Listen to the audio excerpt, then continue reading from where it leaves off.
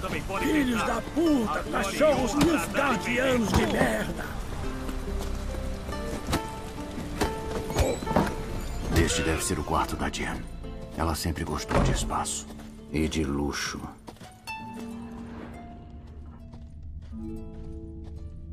Hum, o unicórnio empalhado. Ela o consertou. Não faço ideia de como ela conseguiu trazer tantas roupas. Deve ter alugado um galeão. Como sempre, preto e branco. Não faço ideia de como ela conseguiu trazer tantas roupas. Deve ter alugado um galeão.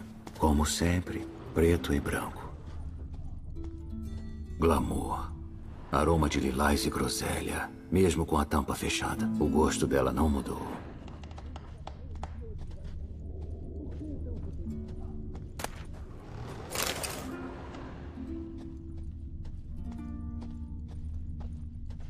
Megascópio dela. Acho que ela nunca vai a nenhum lugar sem ele. Como Philippa Hart disse, megascópios e escovas de dentes são possessões muito pessoais.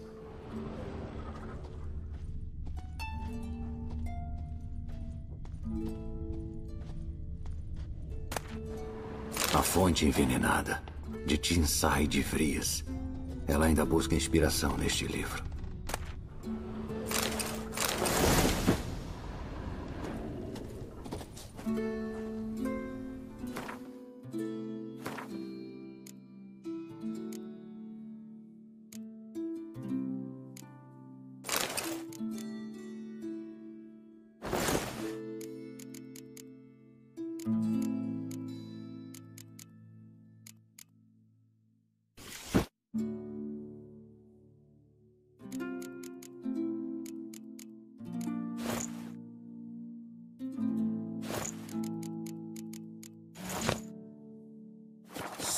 Certo. Só é algo que eu nunca usaria. Mas o que não fazemos por nossas? Hum, mas o que exatamente ela é pra mim? Ah! Cusão!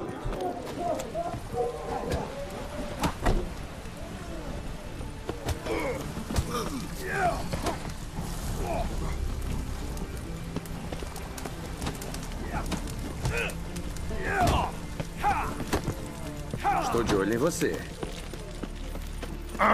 Ei! As melhores espadas não valem merda nenhuma se o braço que a empunha for fraco. Ah!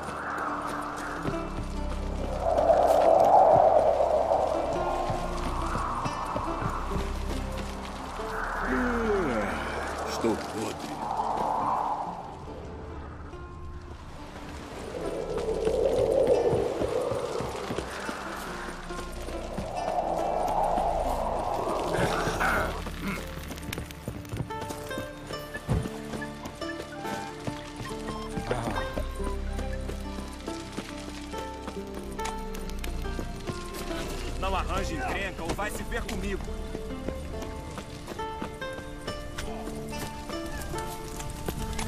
Ah,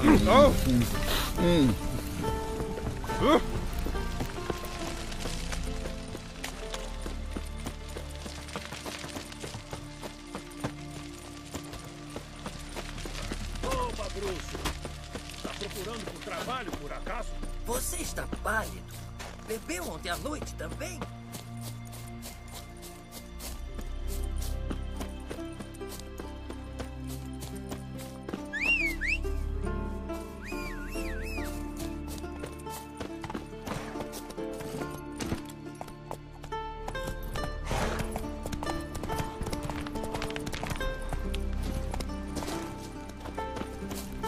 Melhores espadas não valem merda nenhuma se o braço que a empunha for fraco, né?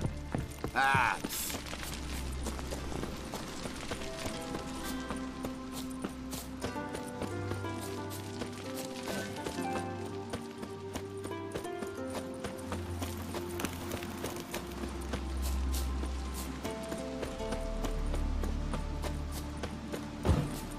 estou de olho em você.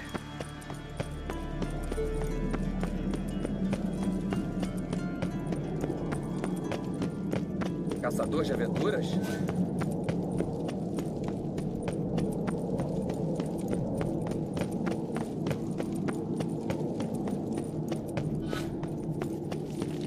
Vamos prestar nosso tributo a Bran, do clã Turseac. O Bran foi um grande líder. Ele precisa de um sucessor à altura.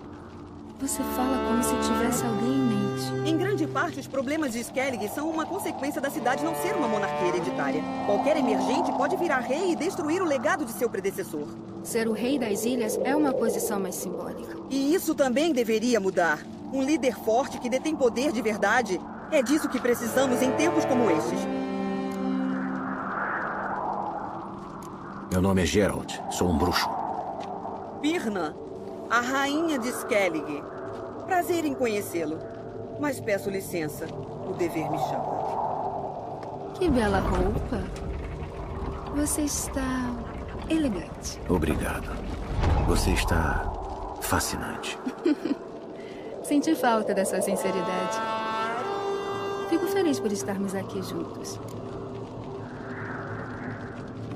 Deveríamos socializar antes que todo mundo fique bêbado. Depois disso, não vai dar para conversar com ninguém. Boa ideia. Não sei o que Crack quer, mas quando nos encontrarmos com ele, melhor estarmos com a cabeça fresca. Não vou beber. Para que entorpecer meus sentidos quando estou em companhia tão agradável? Você planeja me elogiar a noite inteira? Planejo dizer o que penso. Ah, mais problemas.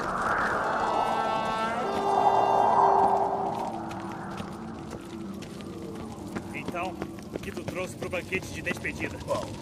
Geralt, tem uma coisa que eu queria perguntar para você. Hum? Sua barba. Por que você decidiu deixá-la crescer? Não sei direito. Hum, devo confessar que combina com você.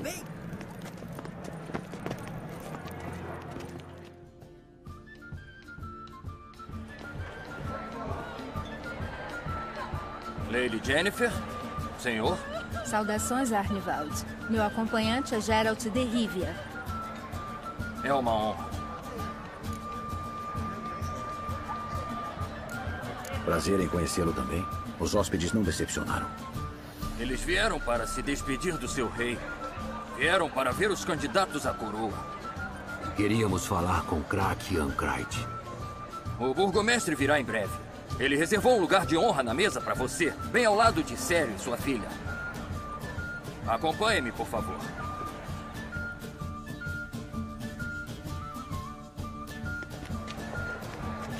Nos colocaram aqui. Fui eu que pedi. Queria ter a chance de conhecer um bruxo tão famoso. Nos encontramos, não se lembra? Isso foi eras atrás. Rielmar e eu éramos crianças quando tu visitou o nosso pai. Mas devia conhecer seus colegas de banquete. Permita-me essa questionável. Este aqui é Halbjorn, filho de Holger Mão Negra. Lugos todo roxo, o primogênito do Lugos Maluco. E aquele ali se empanturrando de bacalhau seco é o Otrigen Rinda.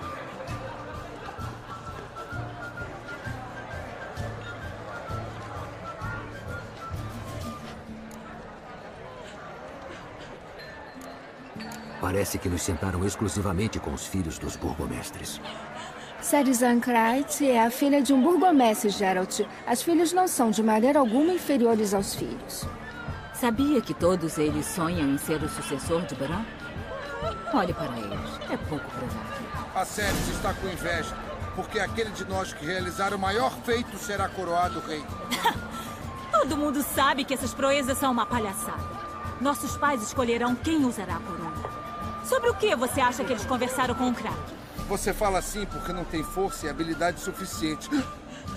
Lembra-se de quando Rialmar desafiou todos nós numa corrida ao topo da colina? Você não foi com a gente. Enquanto ele fincava o machado na madeira do cume para marcar a vitória, você aquecia esse corpo franzino perto da fogueira. Tive meus motivos para não participar. Mas eu teria ganhado daquela vez, assim como ganharia agora. Hum, agora que você mencionou ele, percebi que Rialmar não está aqui. Meu irmão trilha o seu próprio caminho. Mas sobre a corrida, por que não repetimos ela? Estou disposta a desafiar todos vocês, incluindo o bruxo. Se eu chegar antes dele no topo, atrevo-me a dizer que isso seria uma proeza, hein? E aí, topam? Se o bruxo aceitar? Geralt? Com prazer. Quais são as regras? Ganha quem conseguir arrancar o machado do Rialmar do topo de madeira no topo da colina. Quem sair da rota perde. E eu aqui pronto para vomitar de tanto tédio. Vamos!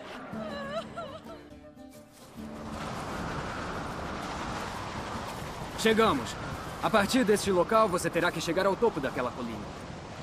No cume, você verá um toco de carvalho com um machado de Realmar cravado nele. Ganha quem arrancar o machado do toco primeiro. Estou pronta. Comecem quando eu tocar a corneta. Coloque essa meretriz no lugar dela.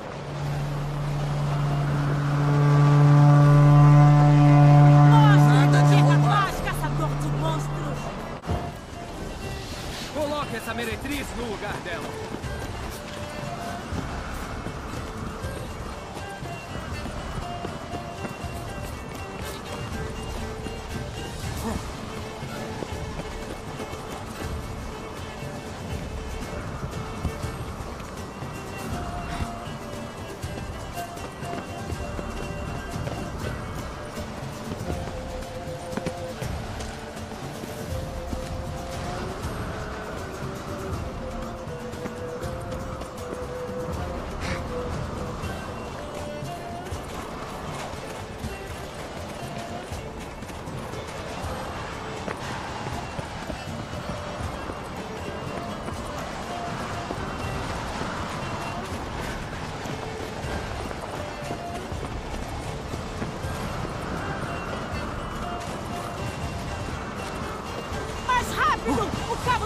Está apodrecendo!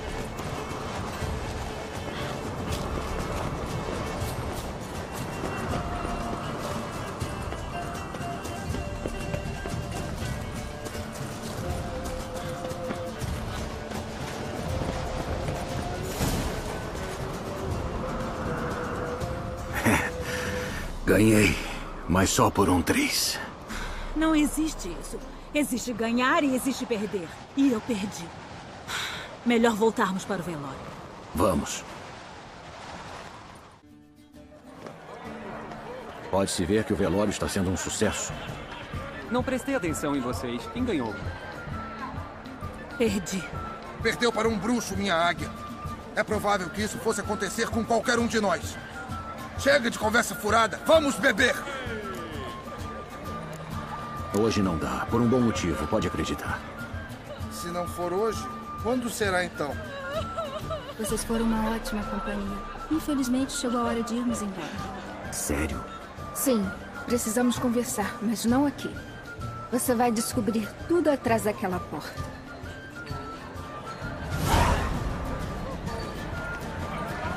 Kilgotten morreu como um herói. Enfrentou três soldados negros sozinho. Eles arrancaram o braço dele na luta. Em um litoral frio e distante. Vocês, cruzando mares sombrios. Vocês, ursos domestiquei para A adega do burgomestre Prato. Permitam-me apresentá-los a Geralt de Rivia, um bruxo. Geralt, estes são o burgomestre Donaran Hindar e o burgomestre Lugos, o maluco. Chamar Lugos de maluco é um insulto aos doidos. Ele não passa de um fornicador de cabras como qualquer um. Me chame de fornicador de cabras mais uma vez, que eu arranco sua cabeça fora, enfio numa lança e mexo pelo buraco de sua garganta. Chega. Hora de resolver isso. Aqui e agora. ah, você me assustou de verdade agora. Caguei nas minhas melhores calças. Guarda isso antes que você acabe se cortando, imbecil. Achei que o povo de Skellig desse uma trégua nos banquetes. Conheço os costumes sagrados, mas Lugos precisa saber que não deixarei ele saquear minha ilha de Rinda até não sobrar nada. Você não assusta ninguém, dona.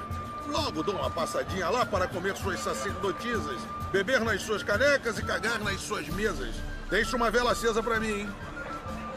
O imperador adoraria ouvir sobre sua briga. Sua Majestade Imperial será muito bem-vinda se nos visitar. Ele que navegue até aqui. Não temos medo dos soldados negros. Pilhar vilas litoranas é uma coisa. Declarar guerra contra o Império é outra. Essa aí é tagarela. Vá mexer no seu cadeirão e estourar bolhas, sua bruxa. Não fale quando não souber de porra nenhuma. Quer saber, Lugos? Acabei de perceber que estou pouco me fudendo para as suas regras sagradas de hospitalidade. Até que enfim, um pouco de diversão. E eu aqui, pronto para vomitar de tanto tédio. Vamos lá, seu anormal. Mostre do que é capaz. Movam os bancos. Vai ter brigas acontecendo. Soca ele na cara, abre a garganta dele, faz ele engasgar com os próprios dentes de uma vez. Abriram a barriga dele, arrancaram as suas entranhas e fizeram-no correr. Acaba com ele, Branco. Esmaga.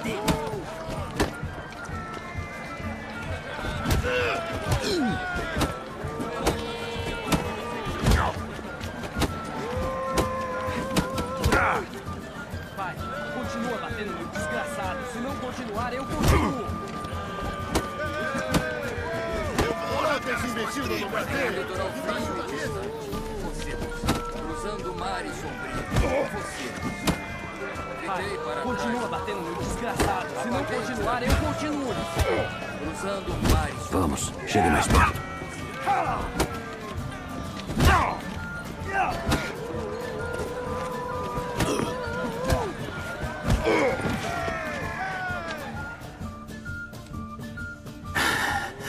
Satisfeito? Ah, você me pegou de jeito. Que surra! Ainda estou vendo estrelas. O cômodo tá girando que nem banheira furada em furacão. Então podemos deixar assim, logo que você pedir desculpas a essa dama. Não fique chateada comigo, senhorita. Tenho uma convicção profunda de que feiticeiras são necessárias. Não me ofendi. Deixe para lá. Assim que eu gosto. E quanto à surra, é o que os homens fazem mesmo. Me dê sua mão, bruxo. Quero apertá-la. Essa vale a pena. Bruxo, tome um trago comigo para provar que não ficou nenhuma mágoa. E me visite de vez em quando, eu insisto. Joron vive falando sobre trazer um bruxo para lidar com aquele farol assombrado. Faça-me um favor. Encontre-se com ele para beber na taverna perto de Erenbjorn. Daí tu vai estar a pouca distância de mim para que possamos tomar algo mais forte. Ao nosso próximo encontro. Claro. Vamos tomar um trago juntos, Lucas. Beba como luta e nossa diversão será garantida. Albran! Seria uma honra para mim e para Jennifer. Um brinde à sua saúde. Com licença, precisamos dar uma volta, conversar com alguns dos outros convidados.